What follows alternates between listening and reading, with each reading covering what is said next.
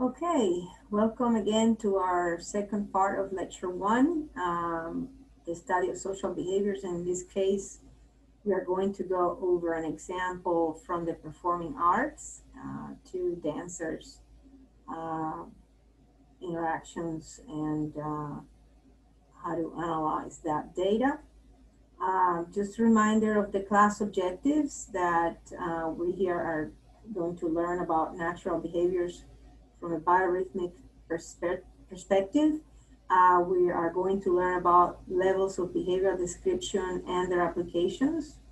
And we are going to translate existing methods in brain science to behavioral science and learn about biosensors in general. So it's a continuation of our first lecture. Um, this is a case of digitizing ballet and as an example of the use in uh, active marker face camera, the PhaseSpace systems in uh, the performing arts. Here's our former student, Dr. Vilelmini Kalampratsidou, who uh, kindly supplied uh, these pictures uh, to illustrate some of the poses uh, from very well-trained ballet, acting as a soloist and in a dyad, in a duet, and in a group. Um, and so partner dancing it can be studied once again as a complex dynamical system. And what we are trying to do is create a new language to represent and to synthesize uh, ballet routines. This is an example of data acquisition and calibration uh, using a grid of cameras that uh, sample at 960 hertz. We mentioned these cameras in last lecture.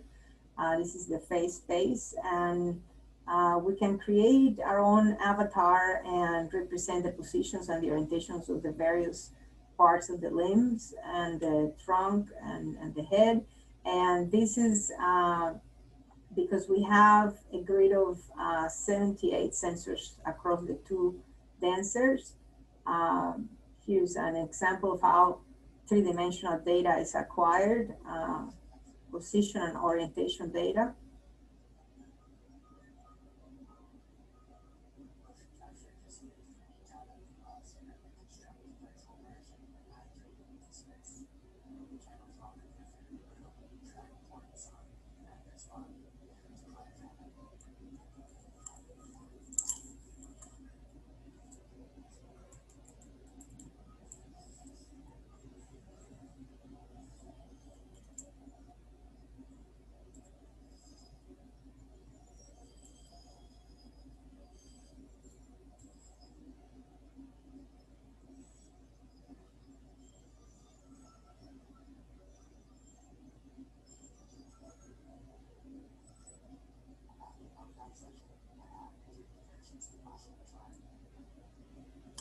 So we have two diversion data of uh, the motions and we can then trace the, the trajectories of those motions, of those complex motions for both the male and the female. so here's an example of a, of a snapshot of a routine um, and the trajectory of the 39 uh, sensors in each one of them, in, represented in blue trajectories for the male and in red for the female and we can uh, place a moving frame that uh, enables us to study the curvature and the torsion of this curve and other features like the speed of the curve and the acceleration of the curve. And we can then uh, extract automatically segments across these uh, that are marked here by these uh, black dots corresponding to the pulses in the speed of the motion.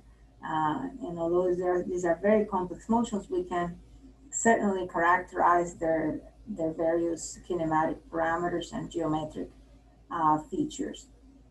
Uh, one of these uh, peaks and valleys uh, uh, curves that we can create, for example, you know, a time series, for example, of the speed or of the bending or curvature of the curve of the, of the trajectory, we can then scale them uh, so this is, for example, in meters uh, per second, and this is bending in centimeters. Um, these are different physical units, uh, but we can standardize them and account for effects of allometry or different anatomical differences which have an impact on the motion because clearly a taller person uh, has a broader range of uh, the speed or bending than a small little baby.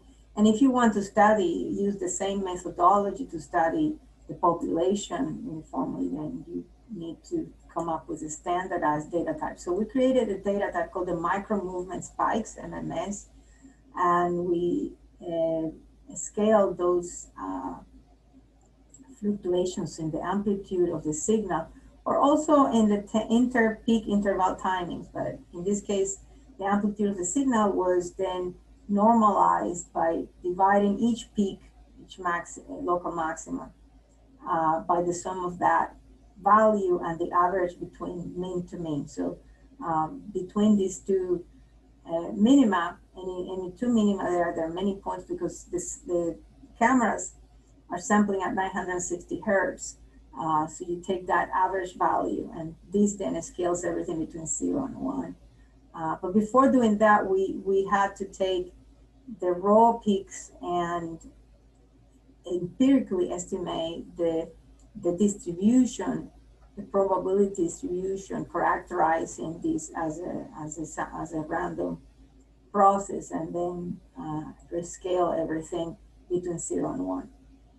Uh, once you take these micro movement spikes, you can plot the peaks in a frequency histogram. And what we have found is that in all these parameters of biorhythmic activity um, span skew distributions. That they're not symmetric, even though that's the that's the underlying assumption that we see people make in the field. Um, so once you have that uh, frequency histogram, you can um, empirically estimate, for example, using maximum likelihood estimation, the probability density function and uh, the probability distribution function. And in this case, for example, uh, we did so with all these data points that we generated from all the routines and the, and the uh, through over the passage of time and uh, characterize them in a parameter space uh, using the continuous gamma family of probability distributions and representing the shape and the scale, the dispersion of each uh, point, which, which correspond to each distribution here, uh, which in turn corresponds to each one of the uh, time series of, of the markers of the male and the female. And so we can characterize them uh, and what we have learned empirically through empirical characterizations that this parameter space has meaning in terms of pathologies of the nervous system, neurodevelopment, adaptive processes of motor control, and so forth. And it goes like this. You have um, scatter points, you can uh, log log uh, the, the parameter space and plot that scatter points, and under the micro movement spikes parameterization of the fluctuations away from the mean, from the empirical estimated mean. Uh, this is uh, spanning a power law that uh, covers several of these decades here. Um, and uh, what we have found is that if you were to median rank this scatter and uh, break down this, this parameter plane into different quadrants, and you have the right lower quadrant and the left upper quadrant uh, of this scatter distributed along the line of unity, this blue region here is uh, where you want to be. This is where the distributions are uh, symmetric, uh, where there is good predictability in the signal, when there's low uh, noise to signal ratio here along the scale, which uh, the gamma scale parameter, which is also the noise to signal ratio. And so um, what we have found is that over over here in the exponential case, when the when the shape parameter equals one, uh, we have the case of autism uh, with very high noise as well. So in the, in the left upper quadrant, we can we have localized the signatures of the autistic phenotype uh, and other other phenotypes uh, as well, Parkinson's and a stroke and so on. So it's a pathology state here. Um, whereas over here we have good neurodevelopment, um, even in babies, they will fluctuate across these quadrants, but will have a tendency, the trend is to land eventually in this quadrant here. Um, this has a correspondence with the moments uh, parameter space of the gamma moments, and these are some statistics that we empirically estimate as well. And so we have um, for this particular uh, data set, this is where the lower speed uh, lies. This is the, the noise to signal ratio uh, over here. Um, so the mean, the variance, the skewness. Uh, the size of the mark is proportional to the kurtosis. And we can characterize here and localize the, the right uh, left quadrant where you have the, the low noise to signal ratio and the high predictability in this region. Uh, and likewise, we can see the scattering red here, uh, and we can characterize the points that um, that are different, that, that are fundamentally different from the blue. Uh, we can also study uh, using similarity metrics uh, the differences across the space of one point and its neighboring points. And remember, these are this is a probability distribution space. And so we use to that end uh, the Kantorovich was Wasserstein distance or the earth mover's distance that we uh, mentioned in the last class. Uh, and we then can characterize the differentiation between exponential and Gaussian distributions um, in a theoretical sense. And also in an empirical sense, we can see uh, where these distributions lie in what part of the, of the parameter space. We can then also take the micro movement spikes, for example, of the bending parameter here in this case, and uh, which are in the time domain, and then do frequency domain analysis, power analysis, power spectrum analysis, and pairwise analysis of cross coherence and cross spectrum phase. Um, and we can study the ranges uh, of uh, the frequency ranges uh, of this data, which remember is self-generated by, by the nervous system. Uh, these motions are uh, estimated from the markers, but are nonetheless motions that are self-generated by each one of the dancers and by the together, the shared space that they, that they, or they cohesively shared um, these signals. So one interesting thing that we noted here is that in the in the range is a range of frequencies that has been characterized in engineering fields uh, such as uh, in structural engineering, where in the low range uh, you have, for example, tall buildings and large ships and long suspension bridges that the nervous system is sensitive to those vibrations in that range. In the range from 3 to 30, you have vehicles and nearby machinery and building components and, and so on, and, and uh, seismic activity, trains. So these are the kinds of things that we sense. Uh, and then in the, in the higher uh, frequencies of between 30 and 100, we have uh, vibrations in the small building panels, like the windows and floor shaking and uh, light shaking uh, of windows and room fitting and so on, so on. So these are all audible noise. These are uh, noise that we detect.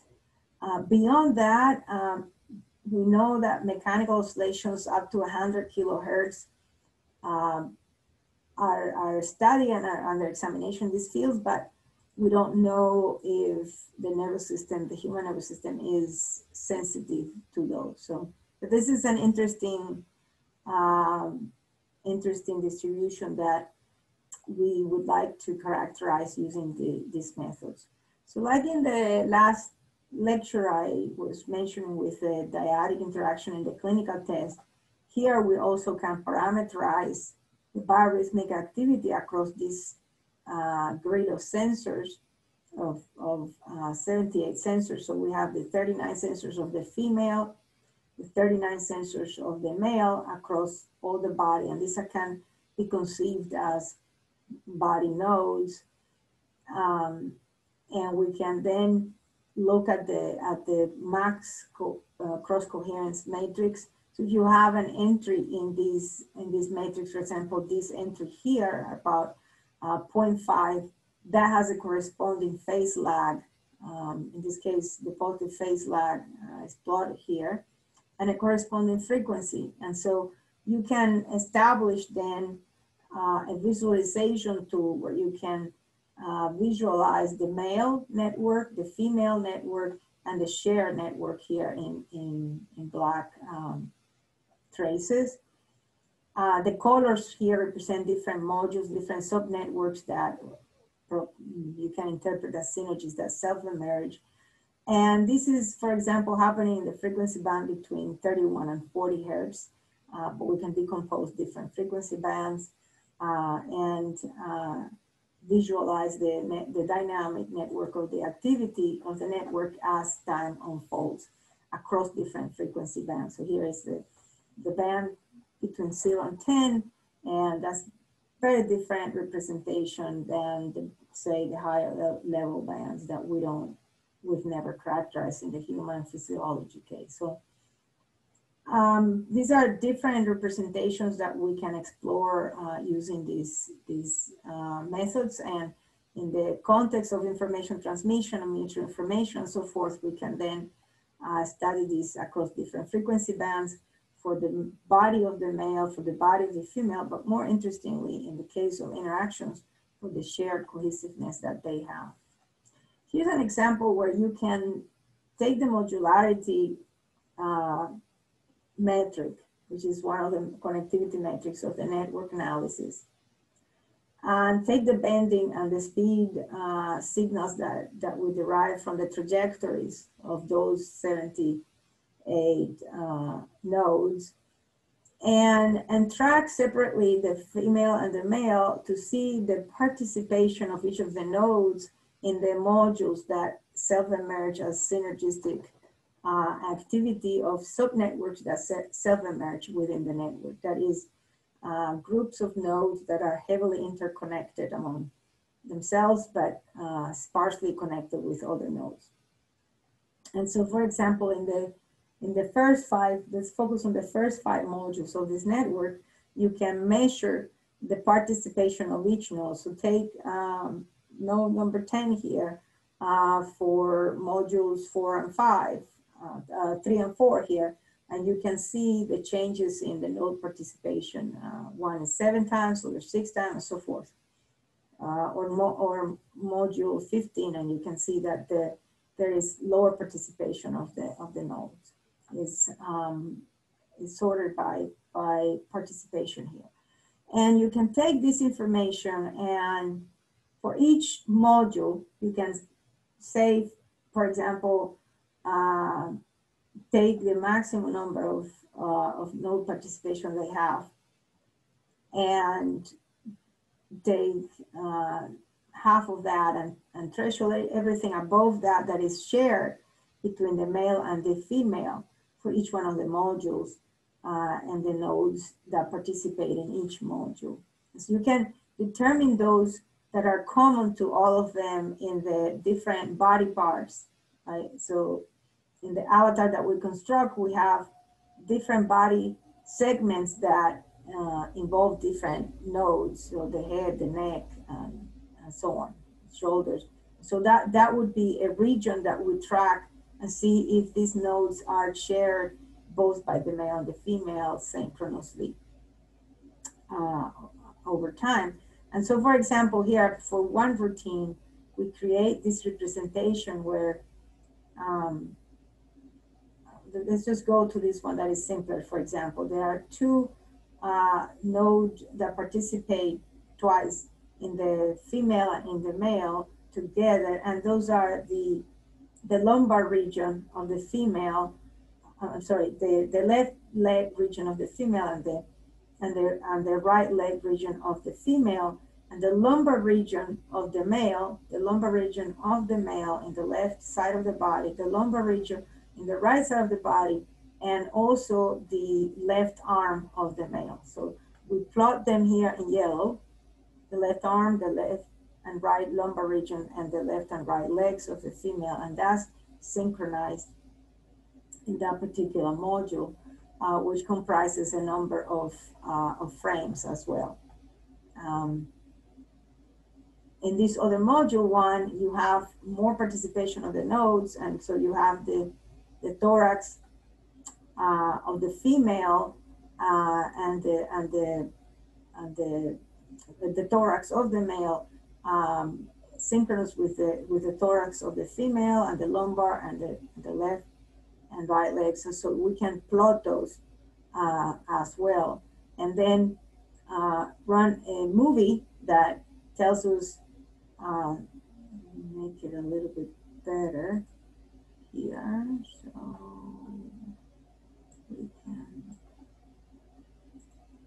uh, look at the different modules as they uh, change color, uh, signaling their synchronous, their synchronous activity. So the yellow um, in both bodies are synchronous uh, for each one of the modules and uh, create this language of uh, matrix representation, uh, seven by seven body segments that can tell us about the different synchrony of the body parts. Um, so that can provide um, information about different different body parts and so forth. So um, so we can then um, examine the, those different representations and bring them all together and overlay the the two um, overlay the two uh, movies the movie that is the actual movie of the performance and the movie that we create with our computational techniques and we can overlay them and see uh, side by side what happens in real time when when the dancers finish the routine. We can also study different levels of noise and build visualization tools that tell different from lower to higher noise to signal ratio during the non-dancing part of the routine when they're calibrating or planning what they're going to do next and so forth uh, versus when they are actually dancing and, and their PDFs are actively changing. So at that point, uh, we realized that these methods can really capture cohesiveness uh, in a network sense. And we had a postdoc, Dr. Madeline Williams, in uh, from molecular neuroscience program in our lab, and she brought some cells, some uh, induced pluripotent stem cells, uh, precursor cells from the labs of Mani Bloom and Jim Millonig at the RBHS. Um, these were from families uh, from a large cohort of New Jersey families that have first degree relatives with special uh, language impairment. And they took blood and uh, created uh, induced pluripotent stem cells uh, to generate clone them and generate uh, precursor cells. So, so they can study how these cells uh, convert to neurons, transition into neurons. They, they can they can study the proliferation of the cells and one of the and, and compare the siblings and the affected the unaffected sibling and the autistic child and so on.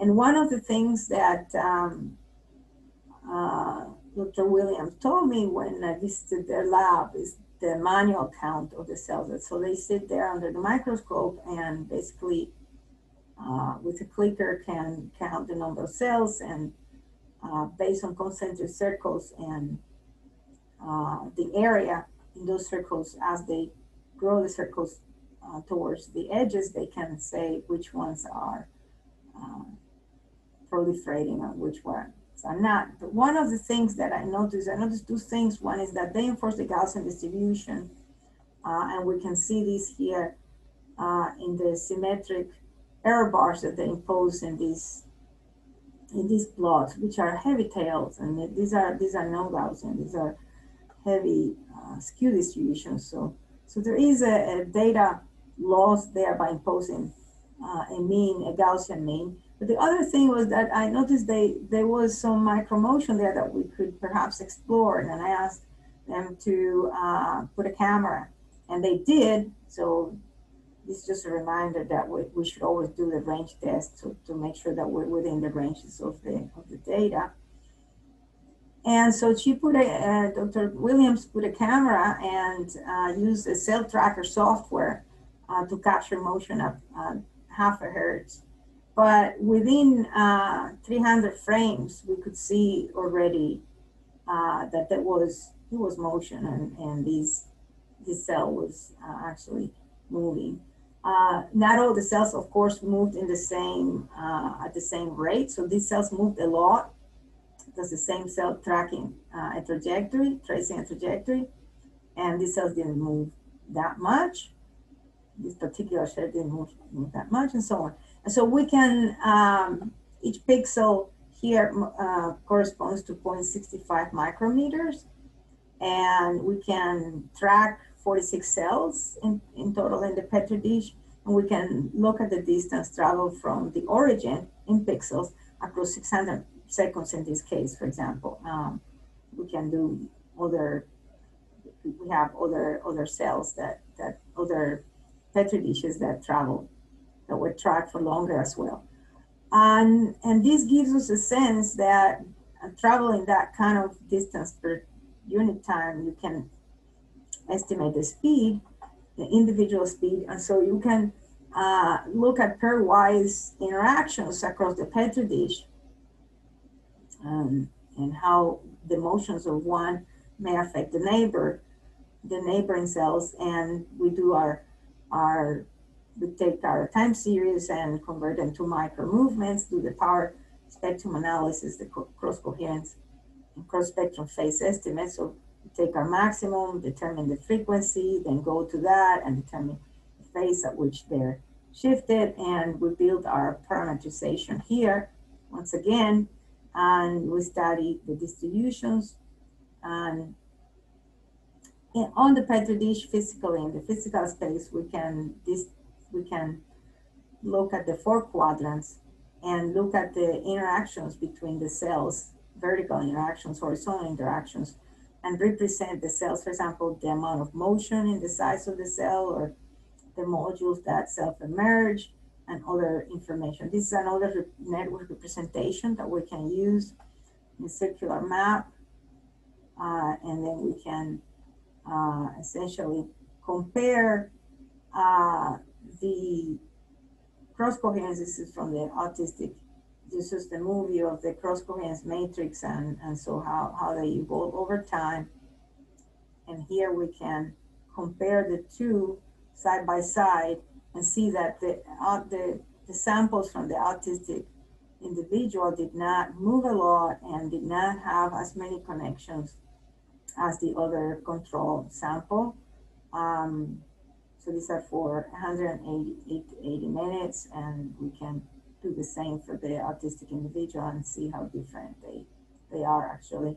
And again, this is also a very sparse connectivity representation here for the uh, autistic individual as, time goes by in, in relation to the control. So this is the control sibling, an affected sibling. Okay, so this gives us a sense that everything pretty much is motion if we look at it as vibrations. The biorhythms entrain and the entrainment is objectively quantifiable. And this quantification can be done from neurons to complex social behaviors and also to complex routines in the performing arts. Uh, please revisit the lecture objectives and uh, we can then go over all these methods in class. Um,